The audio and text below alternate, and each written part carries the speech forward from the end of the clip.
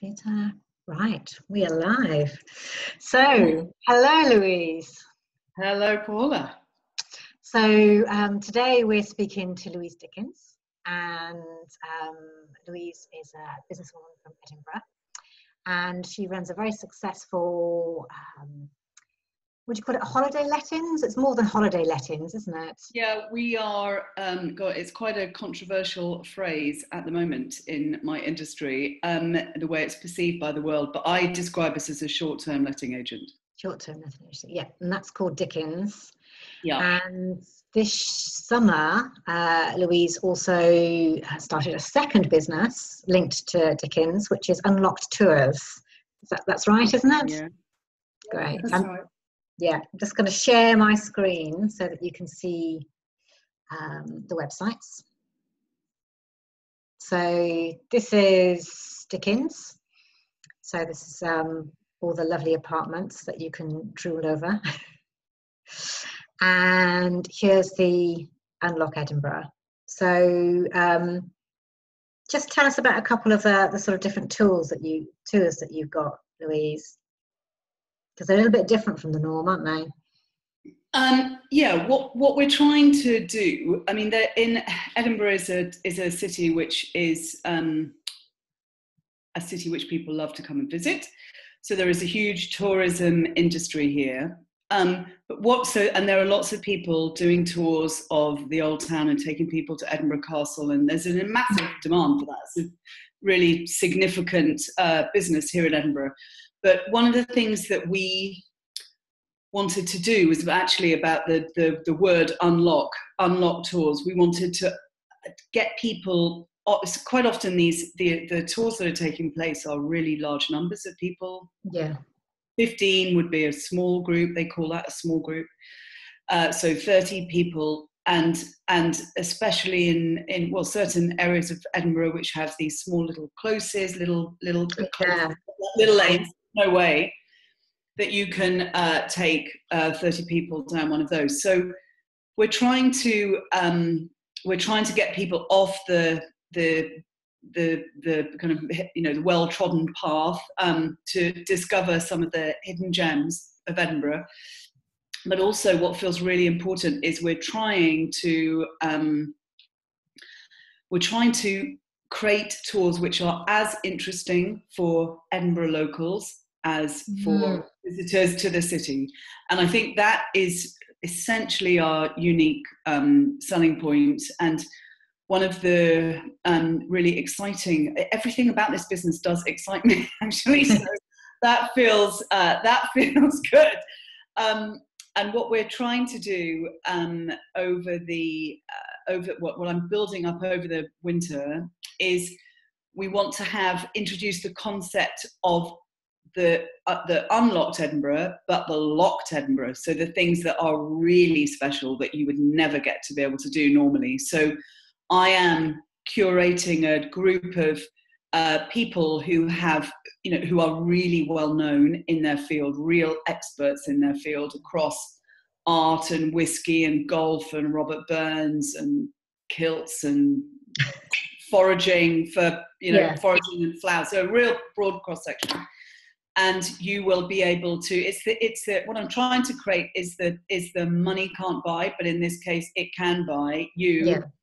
this opportunity um, so for example there's um, uh, somebody that has a, a gallery a, a, really well-known gallery in edinburgh and he is descended from um, from a famous art his um, uh, famous art movement in uh, scotland very well known and you would have the opportunity to go and meet him in his flat for a coffee. You would see some of their incredible art collection. Then you would go to their gallery, which is close by, and see. And he, you you would be taken around the um, the exhibition, and then you'll go up to one of the national galleries, and depending on your interest. He would take you around and, and explain some of the things. It's an incredibly special, intimate experience. Um, yeah so that's what we're that's what we're curating over the winter and we're we're going to be launching what's what's been um, fortunate about launching a business when you have another business running two things about it some good some bad one the good side is that um, I'm not absolutely sweating financially because I do have another business. It's not it's not um, panic stations um, about getting this second business going. But um, the I suppose one of the negatives is that I don't I haven't been able to devote the amount of time I would if it was the only thing I was doing because it um, certainly isn't. But the well, I think one of the good things about it is um, that we've had the opportunity to to try because what you imagine is going to work isn't necessarily the thing and you've got to do it. And then i think especially in these early stages of a business if you have the ability to be able to go a little slowly to be able to try these mm. things and to recognize when you need to make changes um, that is a luxury at an early stage of a business. And so i feel um, i feel grateful for that. And we've always worked towards this summer being a let's see how it goes, let's try it out, let's you know, and then with a view to um, launching in the um, in March. We'll, we're going to have a big launch event at the beginning of March next year, when we should then be all guns blazing for the season of 2019. Um, we were incredibly um, late to the market. We didn't launch the website till the end of July, which is too late um, this year. But uh, but um, I don't know. I'm sure that most people will identify with the fact that the best laid plans, everything, well, certainly in my life, everything takes longer than I ever, oh, yeah. uh, than I ever allow. Um, and then life comes along and makes even worse than your worst case scenarios. So, um, so we were, we have launched, and and uh, yes, it's um, it's still for exciting. Much more um, it has been much more difficult than i thought it was going to be much more difficult to because it's like it's fascinating being at the really at starting a, a brand new business um, that it's like a sort of stationary car and i need to get it mm. moving and i'm absolutely sure that that i'm still even though it's been tough it's been a hard sell but as i said i haven't been absolutely going for it full pelt um, but i um, yes i'm absolutely certain that once i get it going that i am doing i am doing the i'm i am doing the right thing and we are going into the right industry i'm sure yeah. of that so yeah. Fundamentally positive yeah, I can I can feel the strong sense of confidence about this. Yeah. Um, and I'm wondering, so Dickins, you started um, about 20 years ago. So did you have that same sense of confidence then, or was that a whole different thing? Um, I have. I've just turned 50.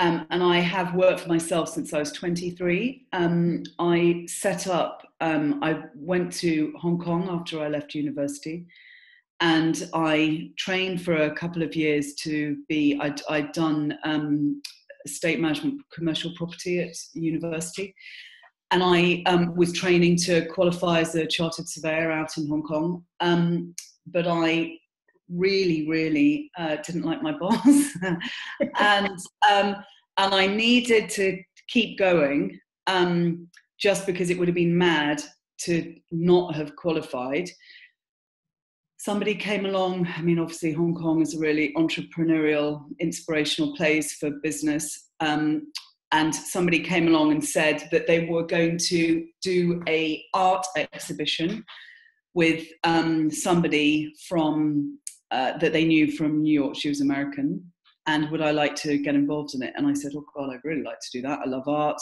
and um, it would be great to have something to focus on to help me get through this period until I can uh, sit my exams to qualify. So I did that. Um, in fact, that was a great and a terrible experience. Um, great because we created this amazing exhibition, sold a huge amount of art. We um, had a charity night where we raised our 100,000 US dollars in one night And that was a long time ago, 25 years ago. Um, but the people that we were in business with, the gallery from America, um, took oh, they we were too young a company to be able to process credit cards. So they Mm. processed all the credit cards and they never paid us anything. They never Oh. paid us anything for our, our share of the of the things or any uh, any um, costs. Yeah. Uh, and we generated costs in in uh, in Hong Kong. So um, that was uh, hideous at the time. I mean, 23. Imagine um, it was pretty strong experience, but it was a good experience for life about how well, yeah, how awful people can be, uh, behave in a terrible way. And I couldn't do anything. You know, they were in America, we were in Hong Kong. It was too complicated to do Yeah. a, a, um, a kind of legal case against them.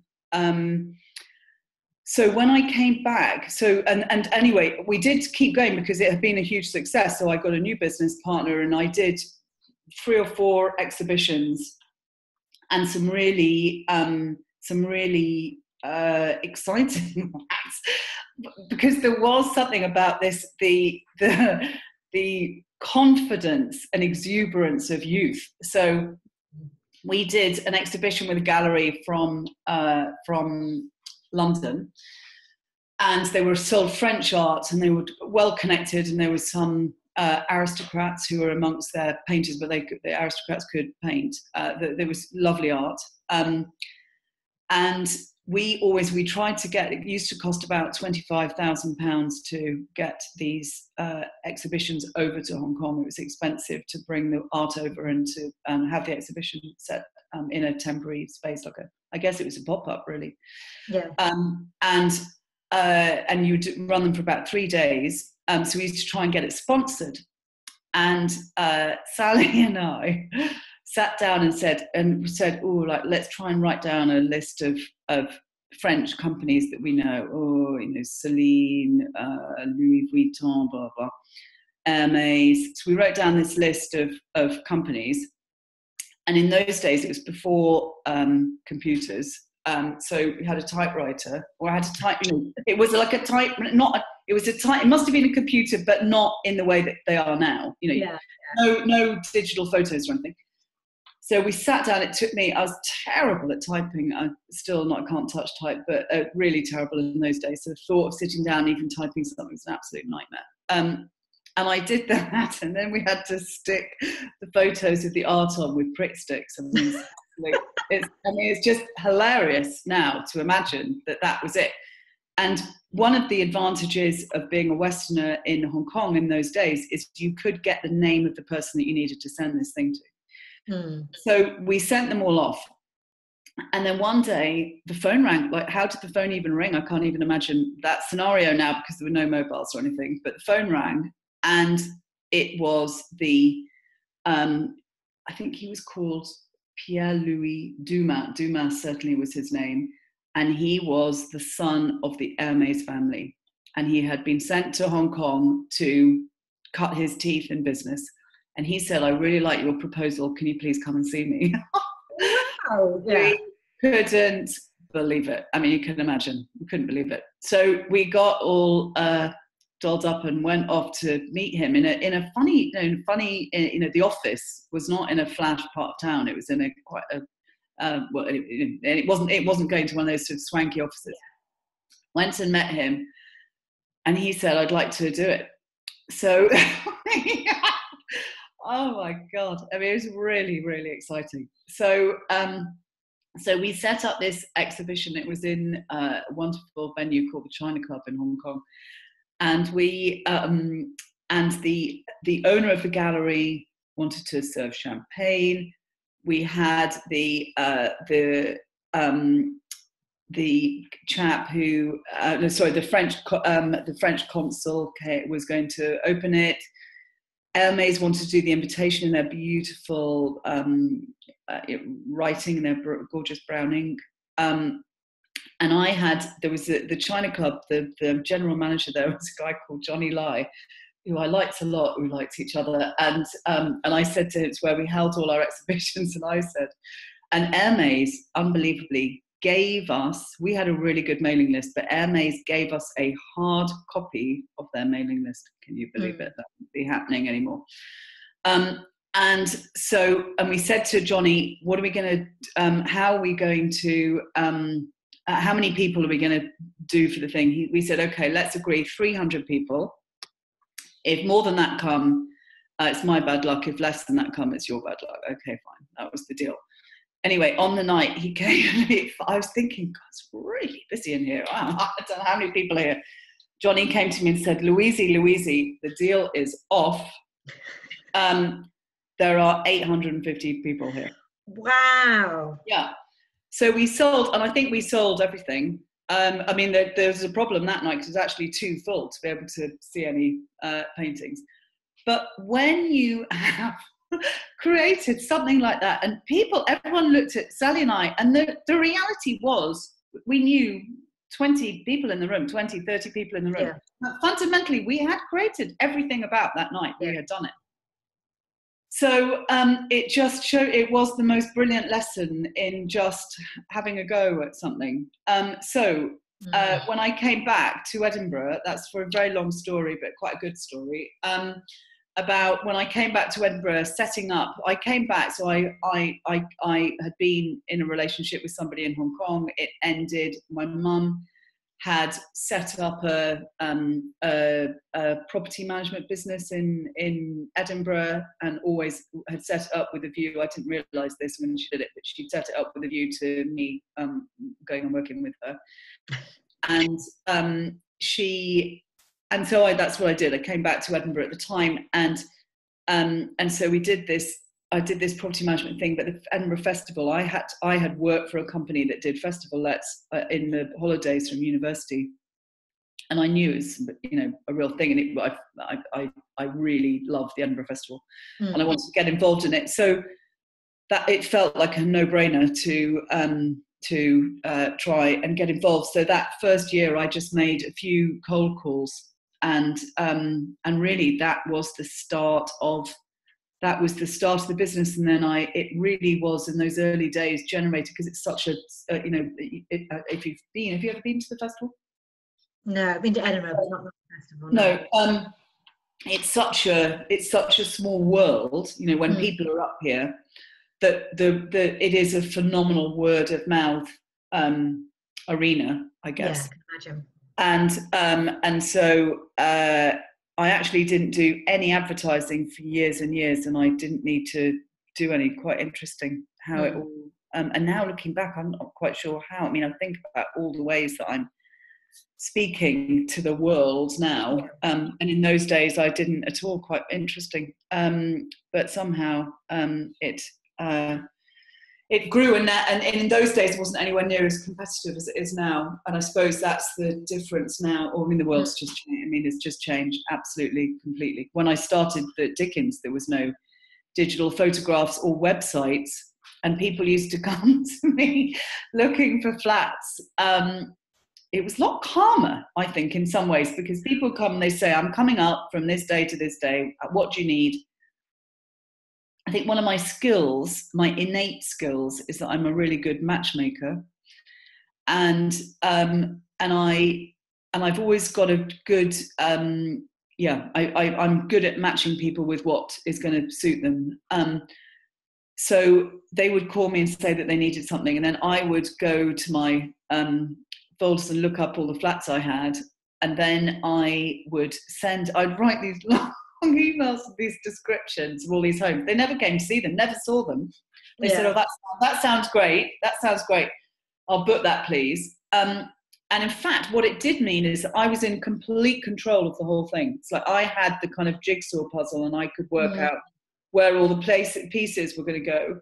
It was actually a lot easier, and people were calm because if I said I was going to help somebody, I helped them yeah. and everyone knew everyone felt calm about that knew that so um, yeah life was much simpler in many many in yeah. many many ways yeah, yeah.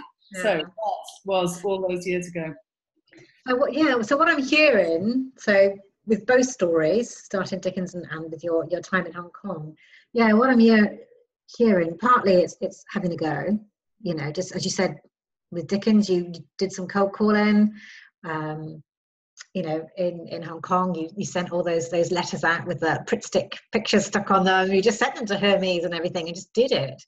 So partly I'm hearing that about the confidence, um, and also tapping into networks. So on both occasions, you tap well, you tapped into Hermes network over in um, Hong Kong, and also you said about you know the network around the the fringe. So it's quite interesting, isn't it? Yes, communities, yeah. fundamentally communities of people, because all of these things, uh, you know, it's all people. I think yeah. it's the thing which the thing which is lost in business now sometimes is the fact that there are always people making decisions there's a person at the end of the phone that's looking mm. at your instagram or you know it's it and and and actually communicating with people in real life i mean i we now communicate um, with people through all my social media platforms and things but communicate, communicating with people in real life has always, in my experience, be, been the best way to get things done. Always. Yeah. yeah, yeah. And you don't second guess that. You don't think, oh, what do they mean by that in that email and da da da da. Yeah, you actually yeah, get it yeah, straight. We all know how dangerous those are. Mm, mm.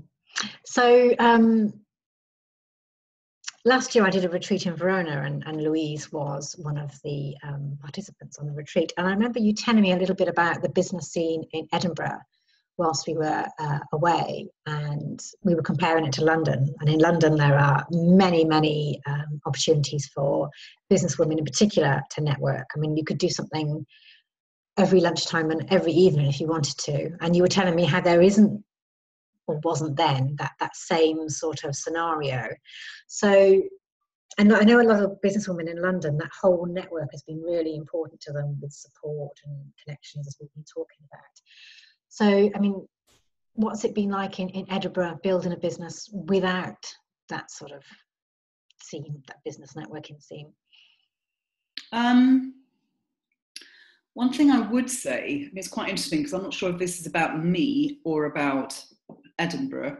I mean, I would I would have imagined that if you um, if you leave London, I wonder where else in the in the UK, the whole of the UK, there would be a real scene of women running businesses. I mean, it's quite interesting. Oh, I, I, I, I would I would wonder if if if it's if it's a powerful thing anywhere. I mean, I, I, I only in big cities, and I guess Edinburgh is a big city, but um, you know what I mean. Like I, I think mm. it it would be something that you in London you can imagine it being on tap, but anyway, in other places. I think there are things that go on here, um, and maybe I haven't taken advantage of them. I mean, quite interesting. So last year, there was um, a, a women's mentoring scheme that was set up by the Scottish, um, the um, Scottish Enterprise Chamber of Commerce, various people got together to mentor women-led women mentoring women in business.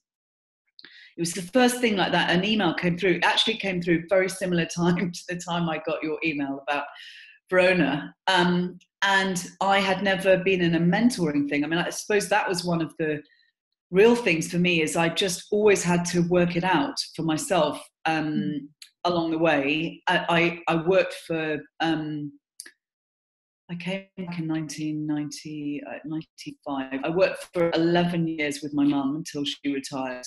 Um, and she has been a definitely you know, a hugely important figure um, in my life and is inspirational in many ways.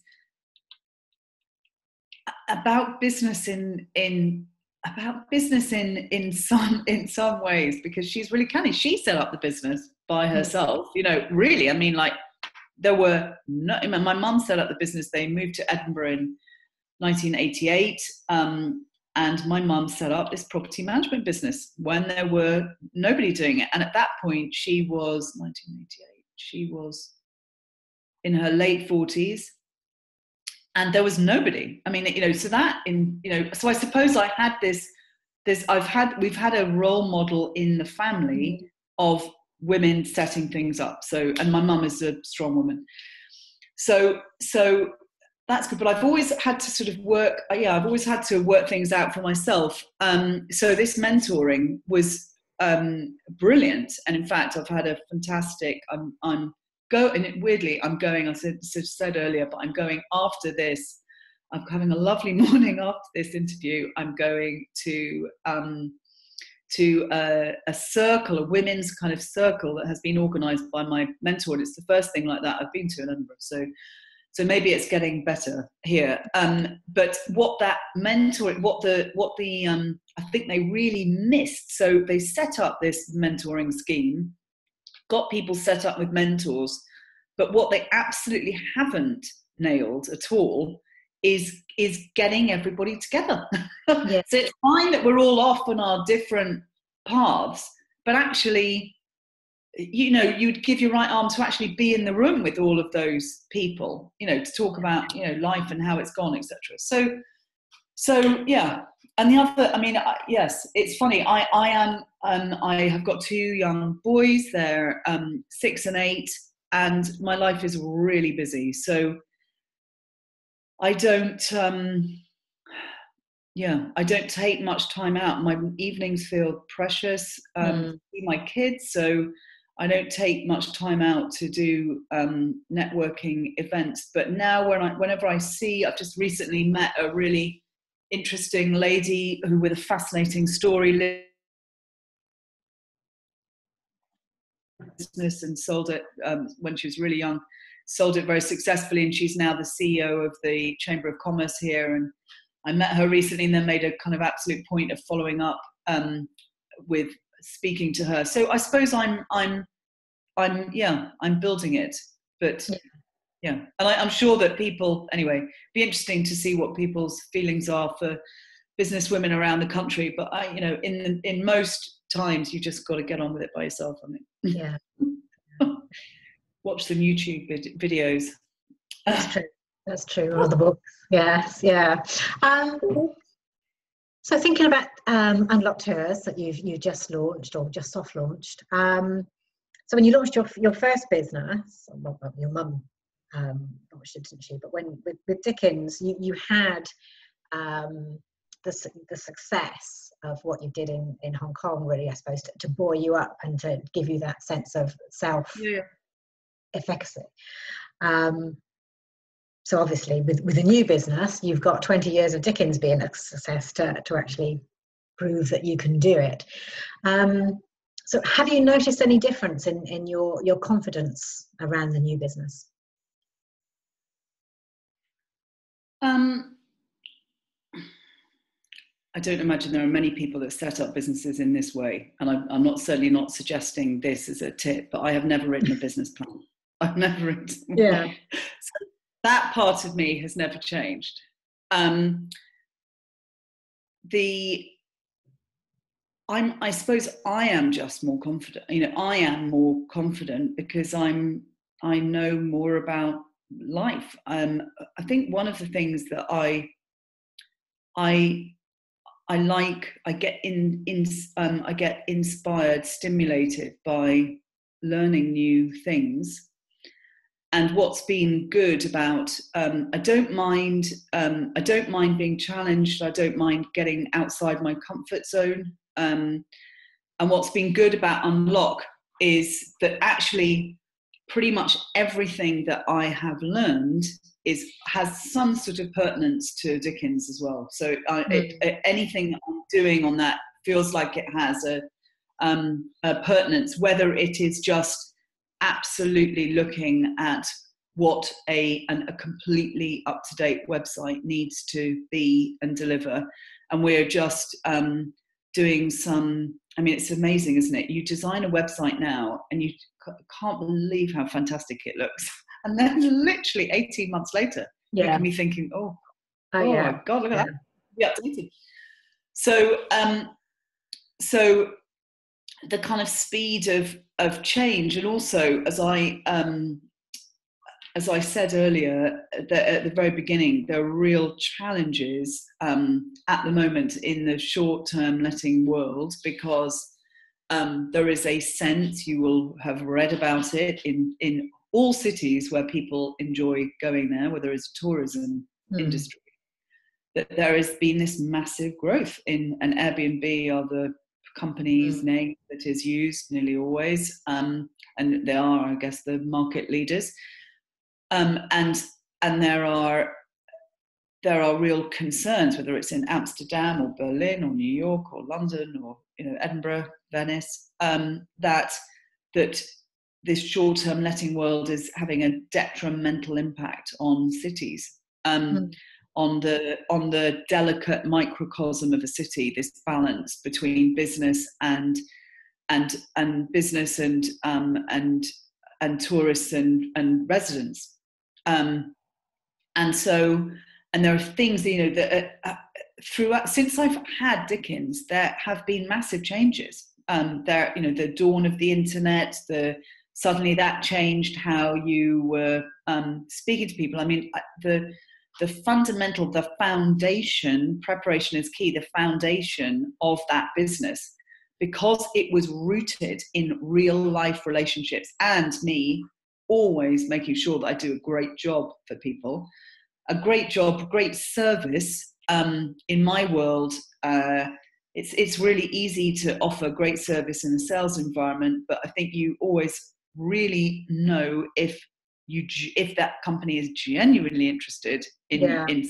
in good service when you have when you find there's a problem. And that's the moment when you discover whether they really care about you or not. And we've always been really fantastic problem solvers.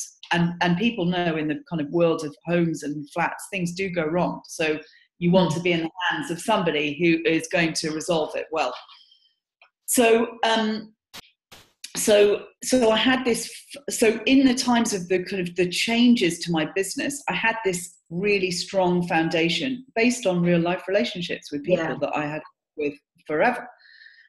But now what's going on in the business is stuff that is totally outside my control. So if there are and i'm and i'm and i and i have absolute concerns. I mean if i if i thought too much about it i could have absolute sleepless nights. But but I have real concern that the that both the Scottish government and the council will bring in legislation which is too strong or or it's it's too punitive um, that won't actually yeah that, they will make they will do something that will have a really negative impact. Um, because fundamentally i think that a third of visitors coming to edinburgh stay in self-catering accommodation so if they suddenly, there's talk of limiting it to 90 days a year, for example, and I do get that there are, there needs to be some changes. Um, and there are instances where the balance, um, the balance in the city is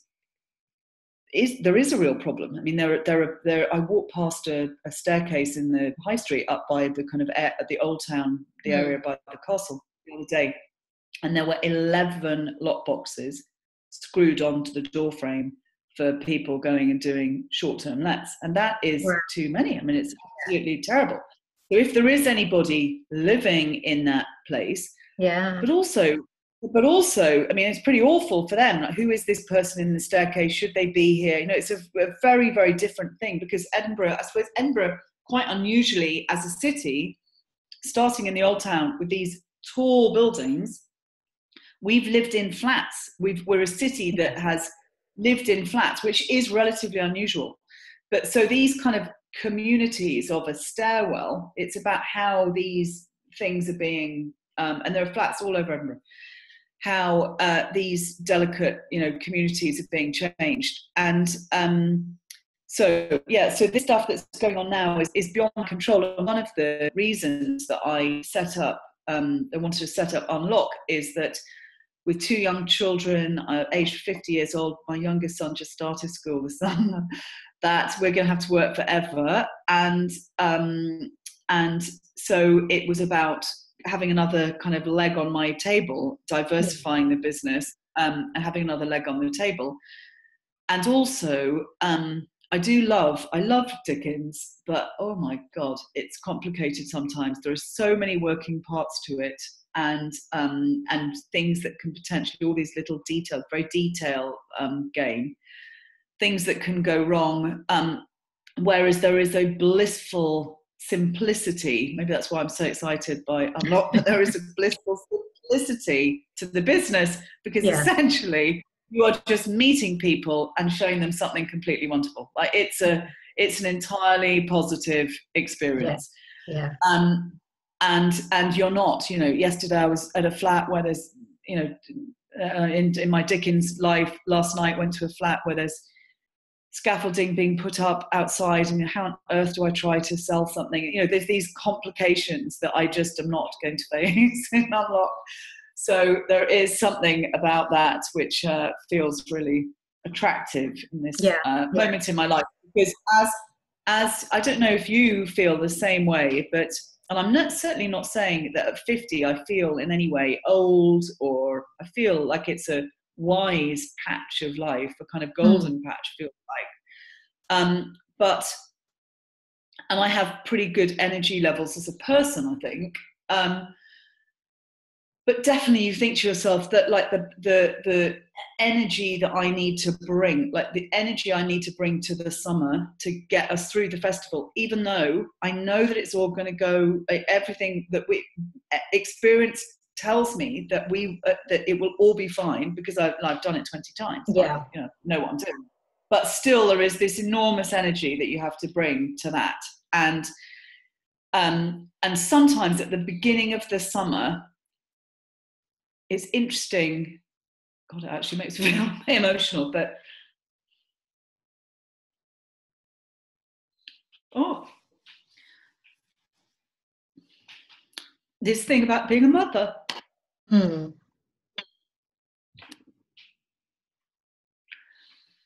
And the summers is actually, um, it is challenging. You can see, you know, this. How do you square being a mother and working all summer like I have yeah. to?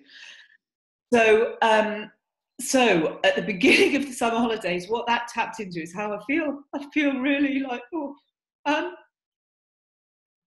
so in a way, unlocked is sort of unlocking. Oh, for you. Un- unlocking. Um, yeah. oh, God. Just something that is easier. You know, Dickins is hard. It's hard. The summer is really challenging. Um, and I always, I feel like that. In fact, and I, I said to somebody that I need to put a note in my diary for July next year to remind myself that this is how I feel in July. Yeah. Um, yeah. But by August, because I really love the festival. So, in fact, by the time August comes along, I'm absolutely all guns blazing. But yeah, yeah. Anyway, challenges being a mother and a somebody oh, yeah. who works. Mother, businesswoman, yeah. two businesses. Yeah, I've I am yeah. there. I am there. yeah, yeah. So um, we were having a little chat before this this this interview about the whole concept of um, one's inner bitch, and as I uh, mentioned, uh, it's not about being mean, not about being nasty or uh, putting down other people to make yourself feel better. It's about drawing on the strong woman inside, and you might feel her as a, a steely core or a fiery lioness or whatever. And interestingly, I got a little bit of a glimpse of her when you were talking about the flats and um, how many, you know, people there were, you know, in, in the flats with the lock boxes and da da da da. Um, yeah, I got a little little flash of her there. That sort of protective. We've got to look after Edinburgh and our people. Um, so I just wanted to ask you about yeah, you're in a bitch, and, and how often do you have to access her, or in what way do you access her? Um, you definitely, I mean, it's really interesting, isn't it? Because I think for our generation, the word bitch has pretty negative mm. connotations. It's not a great word. Um, whereas I understand that for young women it means something different. It means like a fiery kind of lioness sort of thing. So it's an interesting it's an interesting uh, diff- generational difference because bitch definitely wasn't a wasn't a compliment uh, when, I, yeah. when i was growing up. But it is you know to run a business as a woman you have to be strong. You mm. have to be strong. You know there's no doubt. I, i'm not I, i'm not saying that that I I don't know. I've just always well, I've always done it, so I don't know any difference. I've you know I've worked for myself since I was 23, so I don't know really what it's like to work for somebody else. But um, it is it's about this. There are definitely times when you know men talk to me in a way that I think mm, I'm really doubting that you'd be having this conversation in this way with another guy um, and mostly when I really need to bring my kind of strength or like the bitch factor is really when I have got a tricky situation at work. Certainly, those moments, like it, thank God, they don't happen very often. Uh, but and if they're going to happen, um, they normally happen something during the Edinburgh Festival where things might go legal. Mm. And and I and I have to, uh, and it's about, and it's it's always about. I really do pick my fights because we are very good. If we've made a mistake, we'll hold our hands up and um, and admit to that.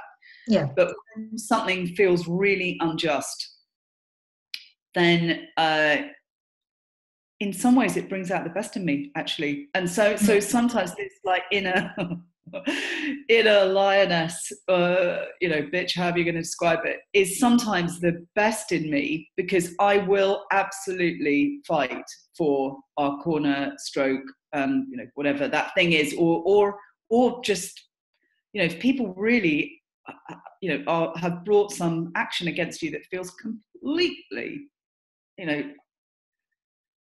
unjust, then I will fight for that. So, um, but I was saying I wouldn't, you know, this sensation with with uh, we said just quickly before this interview started that I wouldn't necessarily want that feeling to be going on all the time no. in the yeah. office because mostly for me it comes out at that moment when I need to like you know pull myself up by the bootstraps and mm-hmm. and really face something. Um, there are times with you know with staff can be really complicated. You know, people can be uh, are the best thing about business and the worst. You know, absolutely in with with all of those um, you know uh, all of those factors along the way. And sometimes you have to be, you have to, you know, you ha- again, you have to, you know, that lioness thing. You have to bring it out sometimes in a in a work situation in, in staff situations when it would be much easier to just you know to not face the thing that you need to face. Um, yeah and then i said i'm i have got this i am my my my maiden name is louise dickins. Dickins is the name of my business so i am known as louise dickins at work. But in fact i really am louise brooke my married name.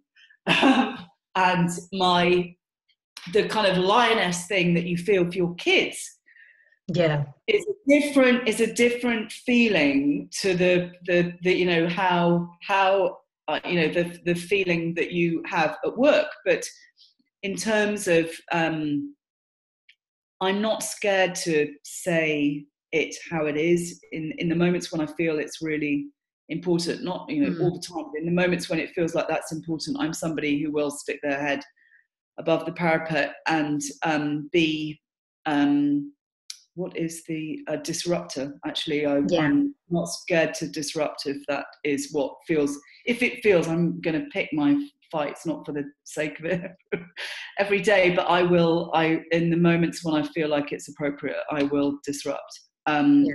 and uh, and i suppose that is you know it's it's there isn't it? Yeah. being a bitch. She's there. She's there. So finally because i know you have a um, your your your circle of businesswomen to uh, head off to.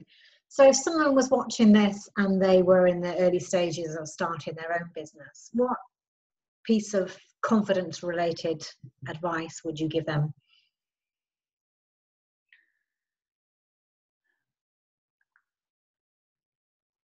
You have to believe in yourself. You have to believe in yourself and what you're doing.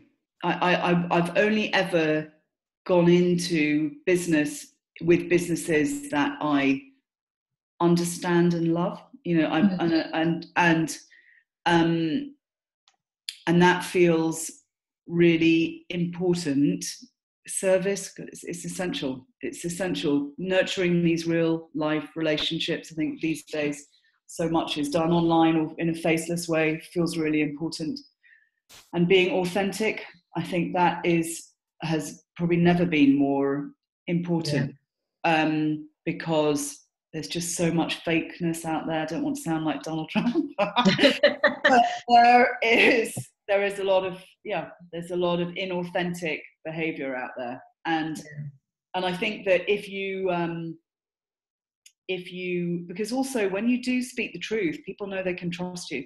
Fundamentally, it's quite a it's a thing because people know if people if you know yeah it it it it, it allows trust and trust is the other massive um, massively important area. Trust um, trusting your brand and and building up that sense of trust. And actually in my experiences that being honest um, is a good way to do that.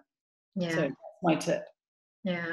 No that's so true i was interviewing somebody the other day and um, she mentioned yes confidence in yourself is one thing but people other people have to have confidence in you too. Yeah. So yeah the trust bit is is um yeah really crucial to that. Well thank you louise. Um so uh, well we've gone on for a while haven't we? Long i know. It's been really interesting I knew we would. I just knew we'd get. Well, well I, the funny thing is, for everyone else, is in my moment of having tears there that I wasn't expecting. But when Paula and I were on our retreat last year, I cried nearly every day. So I suppose it was going to come out at some point. it's just me. that was me being totally authentic. There's nothing put on that. Brilliant. Okay, so I'll stop recording now. But thank you, Louise.